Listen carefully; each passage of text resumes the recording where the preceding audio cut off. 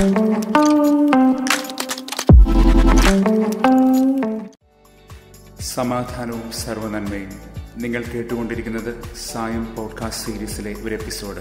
ഞാൻ കപ്പുച്ചൻ സന്യാസ വൈദികനായ ജയന്ത് മേരി ചെറിയാൻ ആവേശത്തോടെ ഇറങ്ങി പുറപ്പെട്ടവൻ അകപ്പെട്ടു പോയതിന്റെ ഒരു ചിത്രമുണ്ട് ഇന്ന് അപ്പോസ്ത്ര പ്രവർത്തനം ഒമ്പത് ഒന്ന് മുതൽ. സാവൂളിന്റെ ജീവിത പരിവർത്തനത്തെ അങ്ങനെ വേണമെങ്കിൽ നമുക്ക് പറയാം. പുറപ്പാടും അകപ്പാടുമെന്ന് പക്ഷേ നമ്മൾ ഇന്നലെ ശ്രദ്ധിച്ച അർത്ഥതലങ്ങളിൽ അതിനെ കൂട്ടി വായിച്ചാൽ മിഴിവേറും. പഴയ ജീവിത തലങ്ങളിൽ നിന്ന് പുറപ്പെട്ടു വന്ന് ക്രിസ്തുവിൽ അകപ്പെട്ടു പോയവൻ അതാണ് പൗലോസായി മാറിയ സാവൂൾ. ദൈവത്തെ നാം കണ്ടുമുട്ടുന്ന വഴികളും ദൈവം നമ്മെ കണ്ടുമുട്ടുന്ന വഴികളും നമുക്കിവിടെ ചേർത്ത് വായിക്കാം. ഇവ രണ്ടും നമ്മുടെ എല്ലാ ധാരണകളെയും അതിലംഘിക്കുന്നു എന്നുകൂടി ഓർമ്മിപ്പിക്കുകയാണ് ഈ പാഠഭാഗം. ഒരു പൊളിച്ചെഴുത്ത് ഇത് സാധ്യമാക്കുകയാണ്. സാവൂളിനെ തട്ടിമറിച്ചിട്ട ആ ഉൾക്കാഴ്ച. അവൻ പീഡിപ്പിച്ചത് സഭയെയാണ്. പക്ഷേ ക്രിസ്തുനാഥൻ അവനോട് പറഞ്ഞത് അവൻ പീഡിപ്പിച്ചത് തന്നെയാണ് എന്നാണ്. ക്രിസ്തുവും സഭയും ഒന്നാകുന്നു. വെറുതെ അല്ലല്ലോ നാം സഭയെ ക്രിസ്തുവിന്റെ ശരീരമെന്ന് വിളിക്കുന്നത്. ഇന്ന് യോഹന്നാൻ ആറ് അമ്പത്തിരണ്ട് മുതൽ അമ്പത്തൊമ്പത് വരെ ക്രിസ്തുനാഥൻ തന്റെ യഥാർത്ഥ ശരീരത്തെ നമുക്കായി ഭക്ഷിക്കാൻ തരുമ്പോൾ ആ ക്ഷണം പലപ്പോഴും നമ്മെ ചിതറിച്ചു കളയുകയാണ്. വിശ്വാസത്താൽ അതിനെ സ്വീകരിക്കാൻ ശക്തിയില്ലാതെ.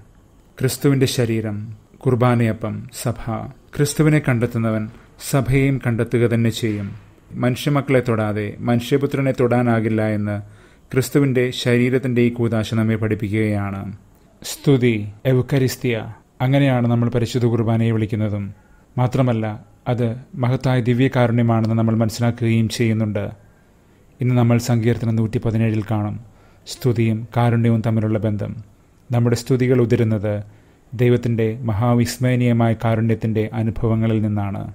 എവുഖരിസ്തിയ സഭയെക്കുറിച്ച് സംസാരിക്കുമ്പോഴും ക്ഷമയുടെയും കാരുണ്യത്തിന്റെയും പാപമോചനത്തിന്റെയും അളവുകളിൽ നാഥൻ എപ്പോഴും സംസാരിക്കുന്നതും അതുകൊണ്ട് തന്നെയാണ്. സഭയെ ഇത്രയധികം പീഡിപ്പിച്ച ഒരുവനെയാണ് സർവജനതകളിലേക്കും സുവിശേഷം പ്രസരിപ്പിക്കാനായി നാഥൻ തിരഞ്ഞെടുത്തത് എന്നതും വളരെ വിചിത്രമായി തോന്നും. സാവൂളിനെ സന്ദർശിക്കാനായി ദൈവത്താൽ നിയുക്തനായ അനന്യാസിന്റെ സന്ദേഹങ്ങളിൽ ഈ വിസ്മയത്തിന്റെ ആഴം പ്രകടവുമാണ്. ദൈവം നമ്മെ തൊടുന്ന വഴികൾ വിചിത്രമാണ്. അത് എല്ലാവരുടെയും ധാരണകളെ മാത്രമല്ല നമ്മുടെയും ധാരണകളെ അതിലംഘിക്കുന്നു.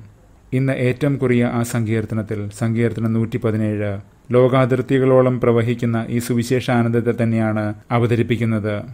ദൈവത്തെ സ്തുതിക്കുക. എന്തെന്നാൽ അവിടുത്തെ കാരുണ്യം അനന്തമാണ്. സ്തുതിക്ക് ഒരു കാരണമുണ്ട്.